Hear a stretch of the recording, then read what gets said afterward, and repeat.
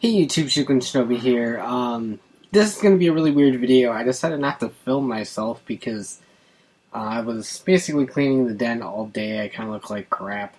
Um, it's really late. I should probably go to bed, but I'm going to rant about Power Ranger toys instead because that's what I do. Um, so yeah, basically I will put up a picture of something here for you to stare at while you listen, but there will be nothing of relevance in the actual video itself. So if you want to go to a website and do something while I ramble, feel free. Go right ahead. There's nothing to actually look at here. So, um, yeah. I, I put up the the Super Mega Force reviews um, over the course of the last couple days, and for the record, I'm not getting the action feature figures that do the like shooting and stuff. Um, basically, with Super Mega Force, I'm getting the Zord Builder stuff. I haven't decided on the cycles yet. I think they're coming with keys, so I'll probably pick them up. Um, the deluxe weapons, I picked up the Morpher, obviously. Um, I'm not 100% sure I'm getting the basic weapons. It kind of depends on what's in them and if they come with keys. Uh, basically, kind of whatever comes with keys I feel I need, then I'll pick it up. Otherwise, I'm probably going to skip it. So I'm not getting like the play sets. I'm not getting the action feature figures. I'm not getting the masks or anything like that. So it's going to be a lot slower than it was with uh, with Megaforce um, proper, since I'm not actually getting as much toys. Uh, so now that that's out of the way, um, the comments in these videos are, for the most part, actually really fun. Um, you get some people that are really into Power Rangers that um, are fully supportive of it, and then on the flip side, you have the people that um, hate Power Rangers and will bash it regardless. Uh, you have the people that have blind hatred toward Bandai America, uh, and you don't really get too many people that absolutely adore Bandai America. I don't think anyone adores Bandai America, but um, I just kind of wanted to clear the air on my thoughts. I discuss it a lot on Twitter, uh, not so much in any of my actual videos. But in a nutshell, whenever I actually give a PR toy a positive review, which is usually most of the time, um, the the comments always explode with "Wow, this toy is absolute crap." Um, Bandai America is Satan. Uh, that has been said before. Uh, so there's varying degrees of negativity, and I just kind of wanted to to talk about my thoughts about everything. Uh, so it's going to be kind of just a big ramble, but see the the way that I see it is the the toys that Bandai America release. Uh, for the most part, there are exceptions, like the uh, the Mega Blade was really cool. Uh, the Gosei Morpher is at the core a very exceptional toy. Um, and I don't mind the legend legendary morpher at all. It does exactly what I figured it was going to do in a format that is exactly what I figured. Um, it is basically a Mobirates with a lamer voice because it's not Mobirates voice, and you can't really beat the Mobirates voice. Uh, so it's a Mobirates with a lamer voice and no keypad. I wasn't expecting a keypad because we haven't had a workable keypad in a toy over here since Wild Force, maybe? Something like that. But anyway, I wasn't expecting a keypad. So, yeah.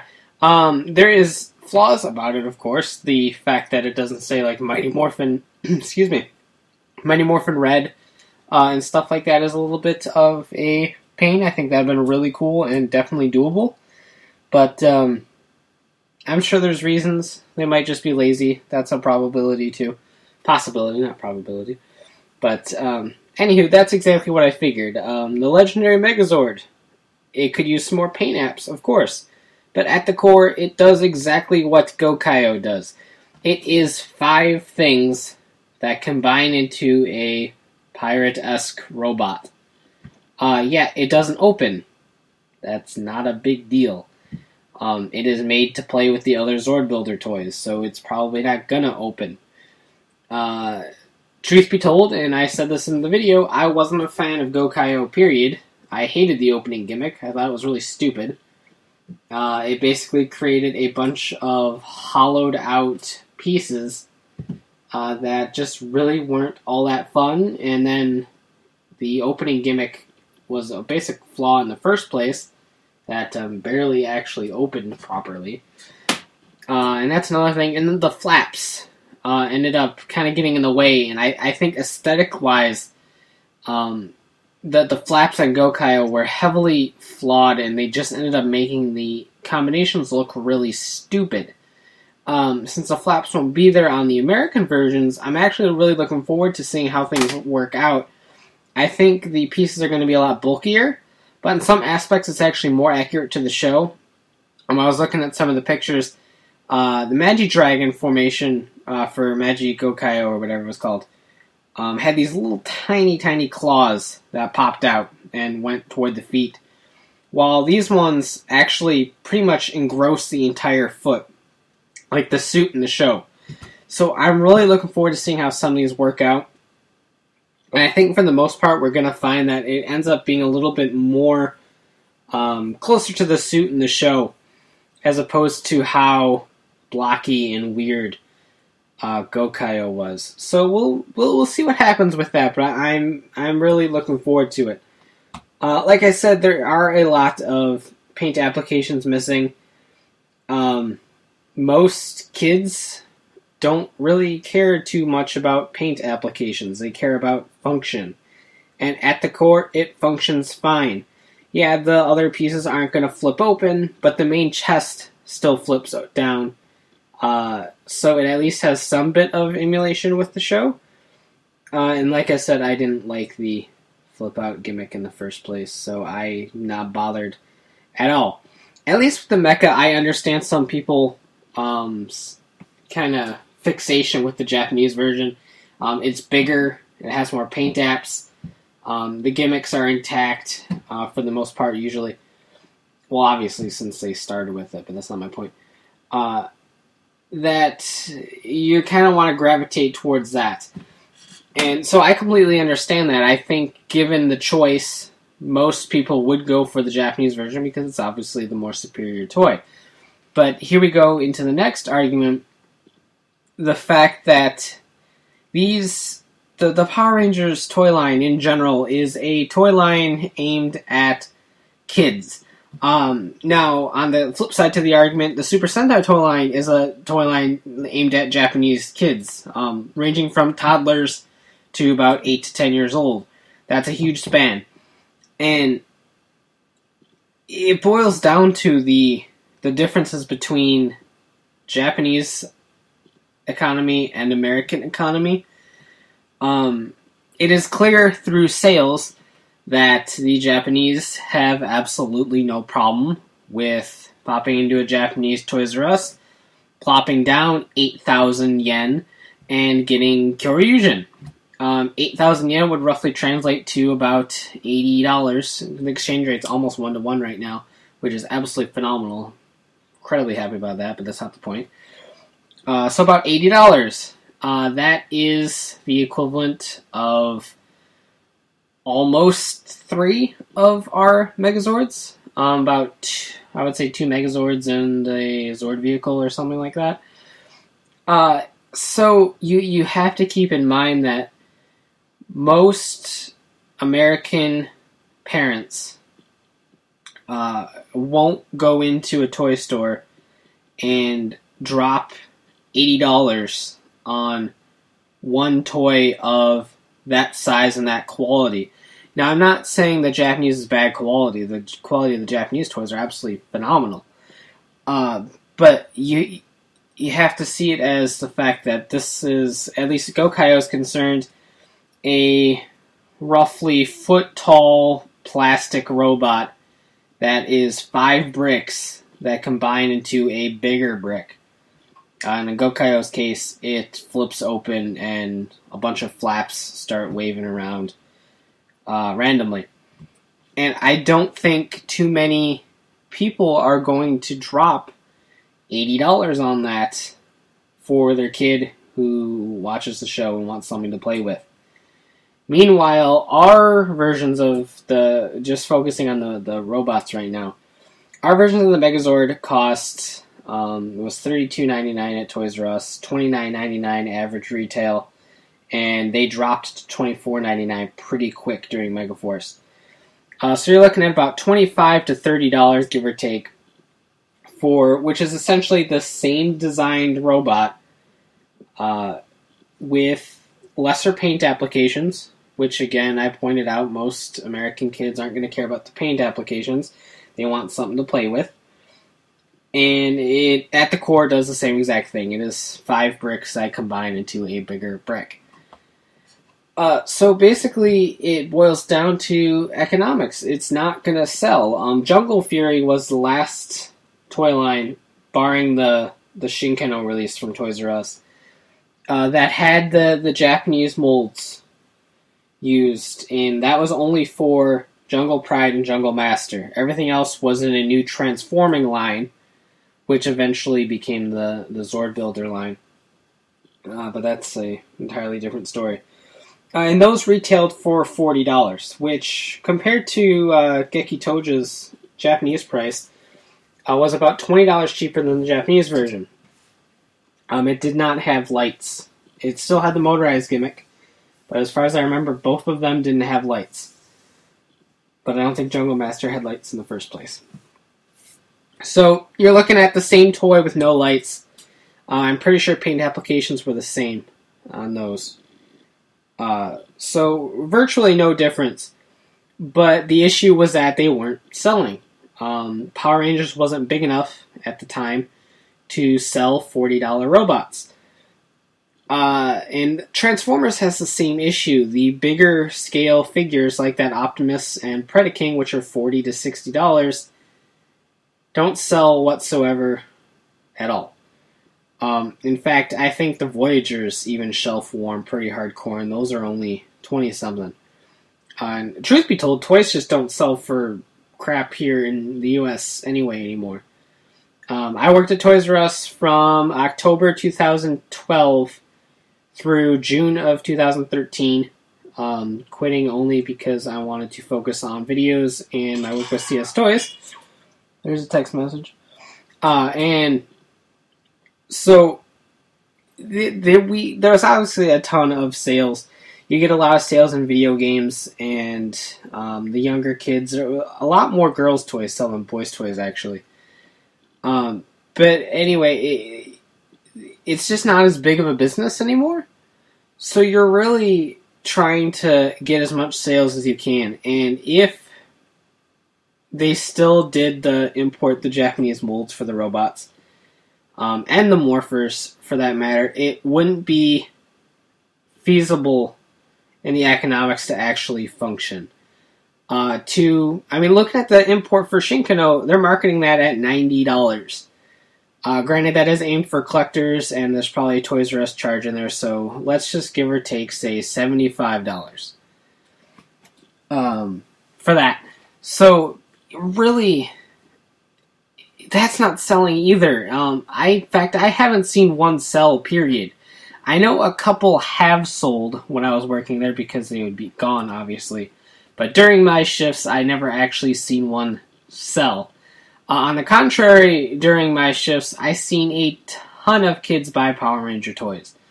Um, it wasn't in droves and it wasn't consistent, but I seen several Gosei Great Megazords sell, several of the figures, the Zord vehicles, um, even the little gimmicky action figures.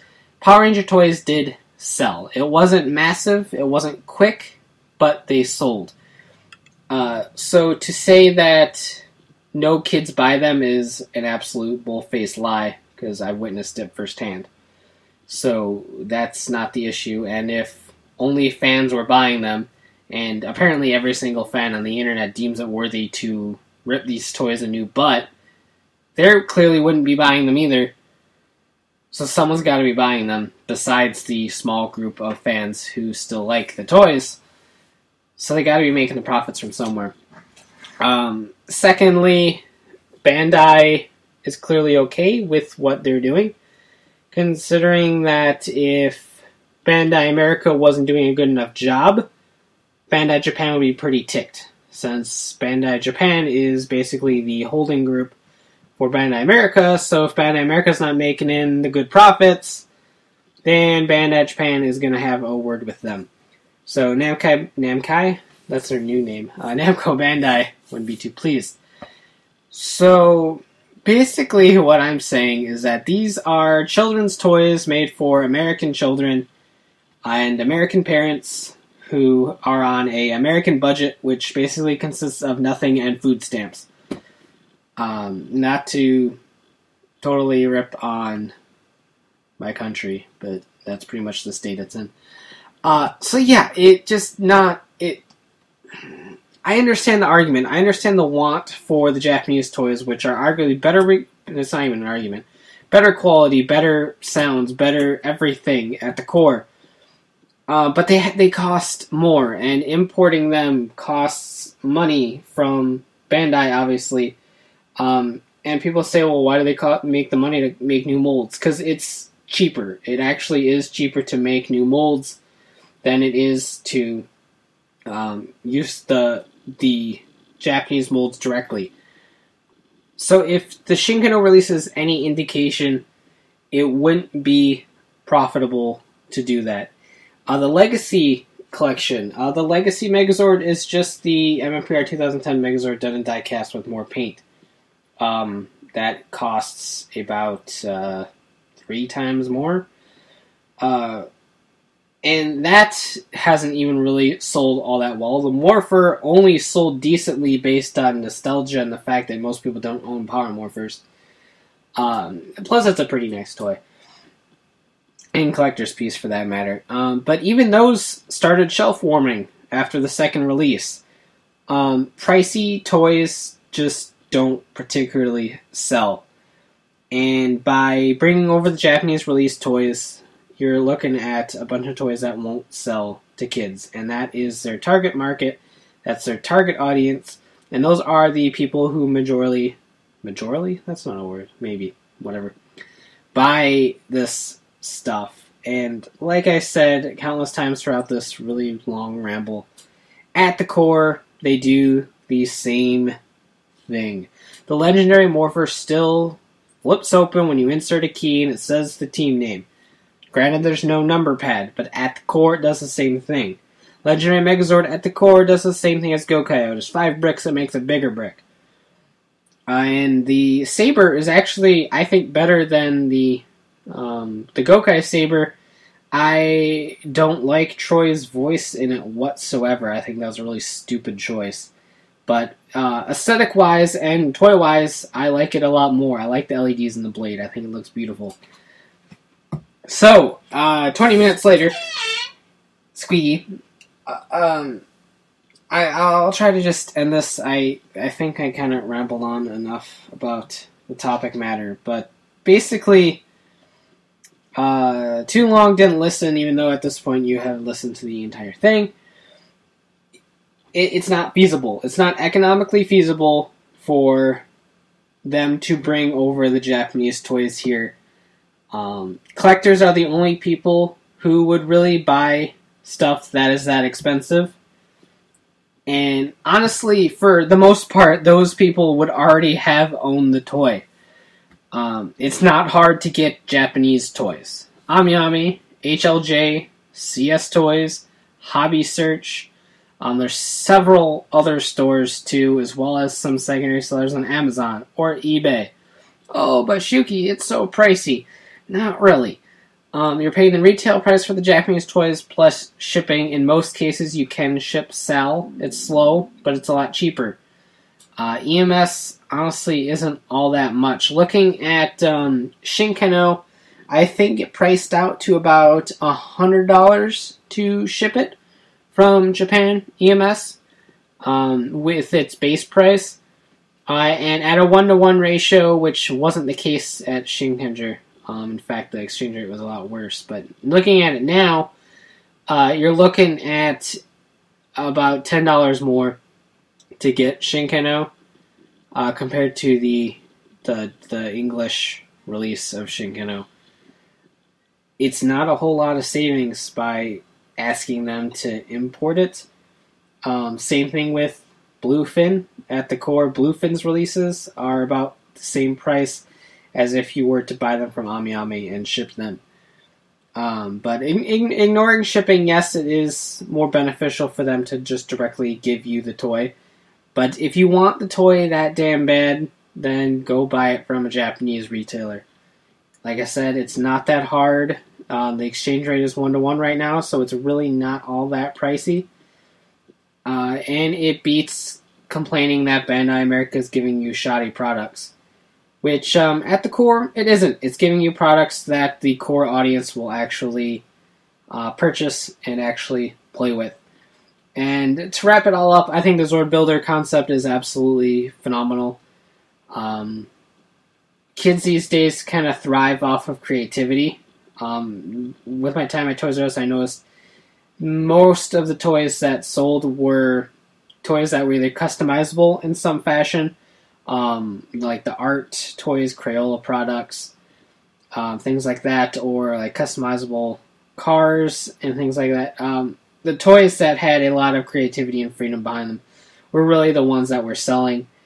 And I, I think the Zord Builder collection that encompasses almost 40 years or over four years of product right now, I think it's great that you could put the Triceratops on the legendary Megazord's foot or leg as a leg, um, as well as the Bear Zord from Samurai on as a leg, and the Phoenix Zord from Megaforce as an arm, and um, Gosei Ultimate's arm on there because why not?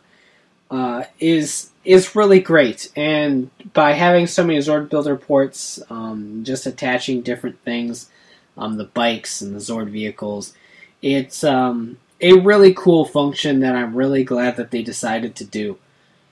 Because uh, it's a lot of fun. Uh, the joint Gattai toys didn't really sell that well in Japan, uh, so I was really sad to see that line end, because it was really fun. Uh, so I, I, think kids really dig it myself. Um, I can't speak firsthand as I do not have any kids, uh, nor do I really know too many kids because my family's kind of barren of kids that are the target audience. So I can't really speak firsthand, but I know as a kid it's what I would have liked to do.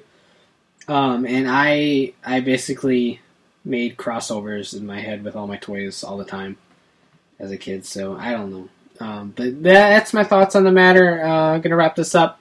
Uh, thanks for listening. I know I'm completely expecting the hate comments to flow, and um, you know I'm actually perfectly fine with that. I mean uh, these are my thoughts on the matter. I know some people aren't going to agree. I know some people are going to continue to hate Bandai America and call their products crap, and that's um, fine. But I'm not gonna. I'll call out a bad toy when I see it, and so far, uh, for the most part, I haven't really ran into too many uh, bad toys. The U.S. release of the Gokai gun is probably going to be a bad toy, but I don't even know if I'm buying it. Um, but at the core, a lot of the toys that they're producing right now are in kind of a middle road to where they could definitely be better. They could definitely be improved, but um, at the core, I would assume that is what fit within uh, the budget, and that's what needed to be done in order to fit the price point and make the toy sell. So I'm not really going to complain all too much unless the toy actually is absolutely crap and not fun, which is most of the basic weapon assortment because they're really just not fun. But that is a story for another day. Thanks for watching, everyone, uh, listening rather. So uh, take care, have a great one, and uh, let me know what you think in the comments below. Take care. Bye.